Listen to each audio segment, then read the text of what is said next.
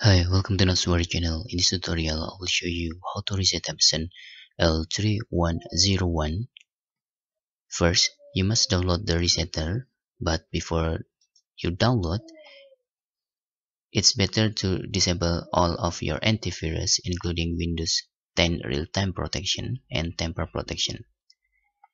If you have another antivirus like Avast Avira, you must disable it for temporary.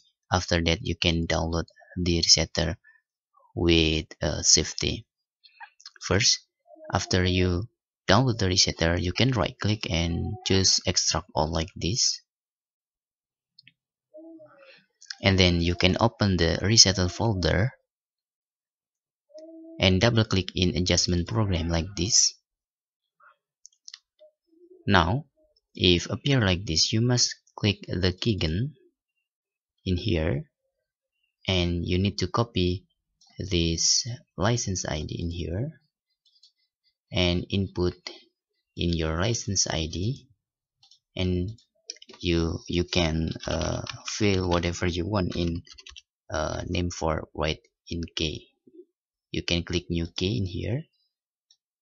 After appear a key you can just enter the key in here and paste and you can click OK now you can select a printer Epson for L3101 and click OK. And then select particular adjustment mode. Choose waste ink pad counter and click OK. Please tick in the main pad counter. After you tick in the main pad counter you must click button check. After you click button check this is will gone you must tick again in the main pad counter and then click button initialize in here. After that you can click finish and then turn off your printer and you can turn it on again.